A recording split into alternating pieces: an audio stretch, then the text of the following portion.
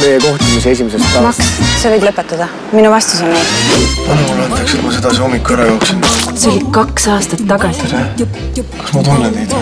see on Anti, teie uus ülemus. toitu siin köögis kaob hämmastavates kogustes. enne kui kord pole majas, langetan kõikide palka poole võrra. streik! ma pean siin sööma, ma olen selle restorani nägu. just nimelt, nägu, mitte magu. siia tuleb õlleka tüüpi sportbaar. köök Kanal kahes esmaspäeval kell kakskümmend. Kuu ei ilman,